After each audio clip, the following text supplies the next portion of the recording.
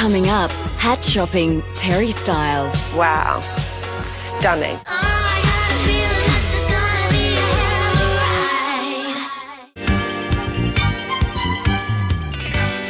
My favourite milliner, Suzy O'Rourke's, popping into my store today.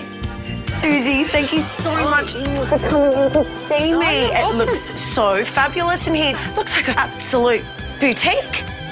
Suzy came along with a whole lot of hats for me to choose from. I adore Suzy's hats. I've worn so many of her hats, and people literally stop me in the street. So you're hosting Derby Days Fashions on the Field. So let's start with, I think we'll do something bright.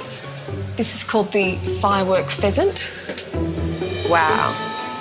Stunning. It is like a firework, isn't it? Yeah. Well, let, us try on another one. Okay. I've got another beautiful piece for you.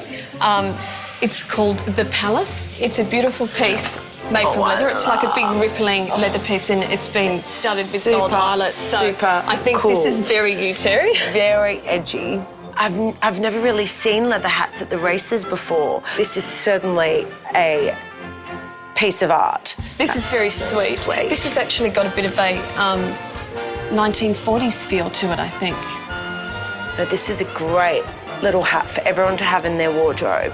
Gorgeous. But it's also a bit fun because, you know, you've got the bow flipped upside down. It's so ladylike. Yeah, It is.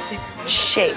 I'd much rather um, pick my accessory first, whether it be my shoes or my hat, and then find the outfit. Yeah, for fun, I think we should try Oh, on I love Liberation.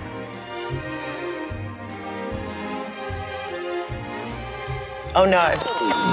no, no, no, no. I'd like to wear this to a party. Just a weekend hat, just to wear out. Oh, this is really sweet. It's the Zodiac, that one. They're all stunning. How does one make a choice?